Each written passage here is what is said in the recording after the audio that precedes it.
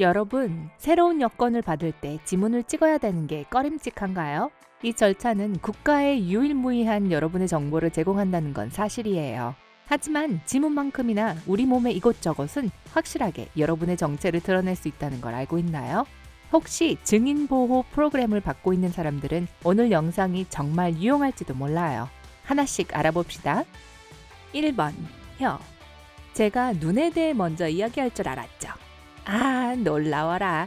여러분의 혀는 아마도 다른 어떤 부분보다 1번에 오를 자격이 있어요. 자, 이 기관은 지문처럼 자신만의 질감을 가지고 있고 그 위에 있는 패턴은 유일하죠. 하지만 그게 끝이 아니에요. 여러분의 혀가 닿는 것이 무엇이든 거기엔 침이라고 알려진 여러분의 생물학적, 유전적 물질이 소량 남아있게 돼요. 검사를 위해 영화 속 경찰이 피해자들이 남긴 빈컵을 챙겨가는 것을 봤죠? 그건 아마도 컵에 침이 아직 남아있을 수 있고 그걸 통해 많은 것을 알 수 있기 때문이에요. 그러니까 무엇을 할는지 잘 보세요. 2번 치아 입을 주제로 하는 또 다른 독특한 부분이 아니면 부분들이 있어요. 사람의 신원을 확인할 수 없을 때 최후의 수단이 치아라는 것을 들어봤을 거예요. 그건 치아에 여러분의 DNA가 있을 뿐만이 아니라 다른 사람들과 비교해 볼 때 그들과 다른 치아 패턴을 가진 모형을 주조할 수 있기 때문이죠. 기본적으로 이 식별 방법은 지문만큼이나 정확하고 신뢰할 수 있습니다. 반면에 치명적인 결함도 있어요. 예를 들어 교정기를 끼고 있다면 당연히 여러분의 치아 패턴이 바뀌게 되죠. 이유가 어떻든 간에 치아를 하나 이상 잃어도 마찬가지예요. 하지만 여전히 개개인의 치아는 독특하죠. 물론 바꾸는 방법들이야 있겠지만요. 그리고 어쨌든 요즘은 어떠한 신체 부위든 바뀔 수 있죠. 3번 홍채 이제 좀 예상했던 주제가 나왔나요? 네, 이 목록에는 홍채가 빠질 수 없죠. 왜냐하면 너무 독특하니까요.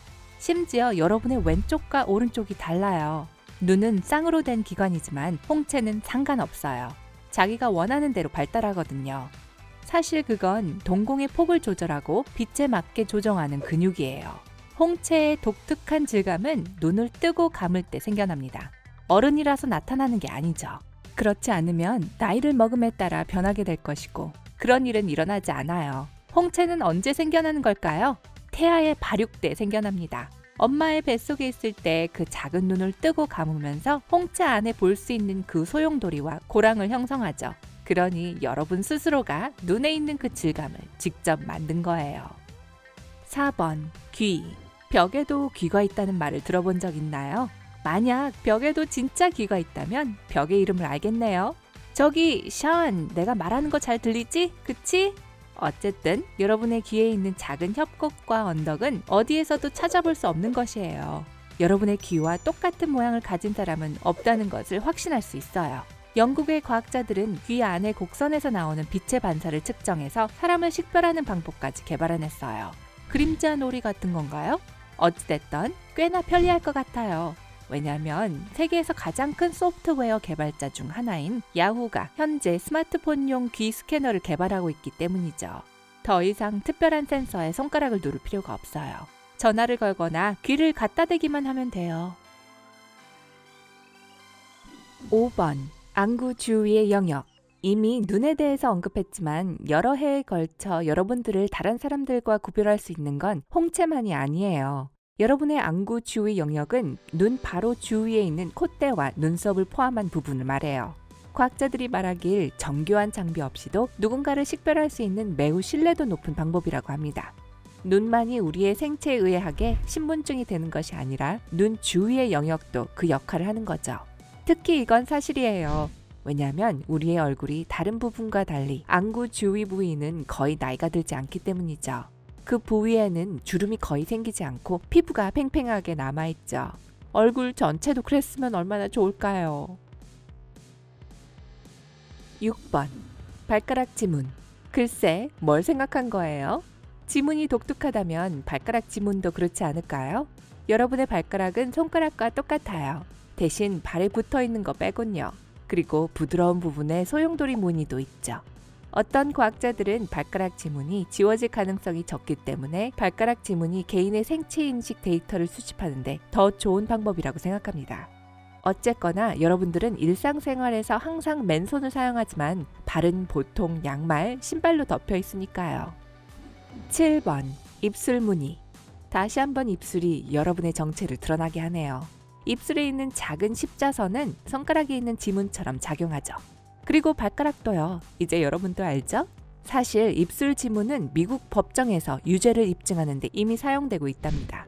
이 방법의 주 단점은 범죄자들이 보는 모든 것에 키스하는 경향이 없다는 것인데요. 하지만 그들이 부주의하게 예를 들어 잔을 마시고 난 후 설거지를 안 해놓는다면 딱 걸린 거나 마찬가지죠. 8번 눈의 망막 공상과학 영화나 액션 영화에서 여러분들은 망막 스캐너를 봤을 거예요. 이런 건 실제로 존재해요. 왜냐하면 여러분들의 망막은 확실히 독특하기 때문이죠. 사실 그건 여러분의 전체 신경계를 정확한 복사본으로 당뇨병에서 뇌 건강 악화에 이르기까지 다양한 질병과 상태를 진단하는 데 사용돼요.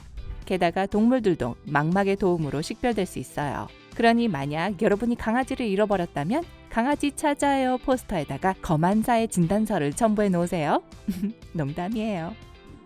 9번 채취 네, 신체 부위는 아니지만 여러분의 고유한 부분이죠. 여러분은 채취가 식별할 때 사용하기엔 너무 복잡하다고 생각할지도 모르겠네요. 그리고 여러분이 오라요. 여러분이 먹는 것에서부터 씻을 때 쓰는 비누까지 여러분의 채취에 영향을 미치는 많은 요소들이 있지만 여러분에게는 환경에 따라 변하지 않는 독특한 기본적인 채취가 있죠. 하지만 다른 냄새와 구별하기 어렵고 여러분이 다른 사람들에게서 그것을 구분하기 위해서는 정말 냄새를 열심히 맡아야 할 거예요. 그렇기 때문에 이미 시도를 했었지만 아직 사람을 식별하는 데는 쓰이고 있지 않죠.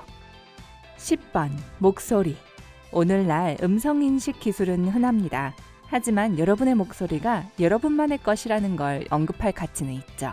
목소리의 일부는 태생부터 음의 높이나 음량은 이미 여러분 안에 내재되어 있지만 다른 특성들은 학습된 거예요. 여러분이 사용하는 언어, 사투리, 심지어 여러분의 가족 출신까지도 여러분의 독특한 음성 패턴에 기여합니다. 제가 음모론을 찬성하는 사람은 아니지만 기억하세요. 큰 소리로 말할 때마다 그들이 여러분의 말을 듣고 있는지도 모른다는 것을요. 그들이 누구든 간에 말이죠. 11번 걸음걸이 네, 여러분이 걸어가는 방식 또한 특별 요원이 알 수 있게 여러분의 정체를 탄로나게 하죠. 아마도 아무 훈련 없이는 여러분의 걸음걸이를 판독할 수 없기 때문일 거예요. 하지만 지금까지 거의 10년 동안 걸음걸이 인식은 사람을 식별하는 주요 방법 중 하나였어요. 그리고 첨단 스마트폰 기술의 부상으로 식별하는 것이 더 쉬워졌죠. 봐요. 오늘날 모든 스마트폰에는 가속도계라는 장치가 있는데 기본적으로 속도를 세고 여러분의 움직임을 추적하죠. 이 정보를 갖고 있으면 의식하지 못하더라도 사람을 식별할 수 있죠. 그러니 여러분이 산책하러 가면서 주머니에 스마트폰을 넣어간다면 이미 여러분은 문서화되고 분류당해 있을 거예요. 헤헤헤, 좋은 하루 보내세요. 12번, 손바닥.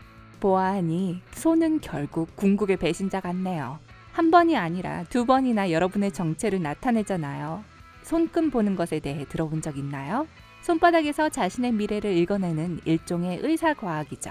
그리고 여러분의 운명이 정말로 손금에 쓰여 있는지는 여전히 큰 의문이지만 한 가지는 확실해요. 손바닥의 손금은 여러분에겐 독특하다는 거예요. 하지만 손바닥으로 사람을 식별하는 문제는 꽤 명백해요. 손 전체로 물건을 만지는 것이 아니라 손가락으로 만지는 경우가 훨씬 더 많죠. 그래서 손가락 지문을 채취하는 것이 더 쉽죠. 하지만 여전히 가능한 것이고 많이 행해지고 있습니다. 13번 DNA 음, 우리 몸의 독특한 특징에 대해 이야기하자면 우리가 기본적으로 어떤 존재인지를 만들어주는 것을 언급하지 않을 수 없네요. 인격과 성격이죠. DNA 혹은 디옥시리보 헥사는 생물학 책이나 영화에서도 볼 수 있는 특유의 모습을 하고 있는 문자를 갖고 있죠. 두 개의 사슬이 서로를 돌고 있고 사슬에는 여러분에 대한 모든 정보를 담고 있어요. 여러분이 어떻게 성장했는지, 발전하고 기능하고 번식하는지 간단히 말해 모두 다 말이에요. 과학자들은 꽤 오랫동안 DNA에 대한 열쇠를 찾고 있었지만 여전히 모든 비밀을 밝혀내지 못하고 있죠. 그래도 이 분자는 몸의 거의 모든 조직이나 체액에서 발견될 수 있어요. 그래서 머리카락 한 가닥, 침 한 방울, 잘린 손톱이면 여러분의 신원을 충분히 확인할 수 있습니다. DNA 검사는 전 세계의 경찰관들이 범죄자들을 매우 효과적이고 실수 없이 잡을 수 있도록 도와줍니다. 자, 제가 놓친 게 있나요? 여러분이 독특한 사람이라는 걸 알 수 있는 다른 방법이 있나요? 여러분들의 의견도 댓글에 남겨주세요. 오늘 새롭게 알게 된 것이 있다면 영상에 좋아요를 누르고 친구와도 공유해주세요. 잠깐 아직 증인보호 프로그램으로 들어가시면 안 돼요. 여러분이 확인해야 할 2000개 이상의 멋진 영상이 기다리고 있습니다. 왼쪽 오른쪽 중 하나를 클릭하고 즐겁게 감상하기만 하시면 돼요. 밝은 편과 함께 하세요.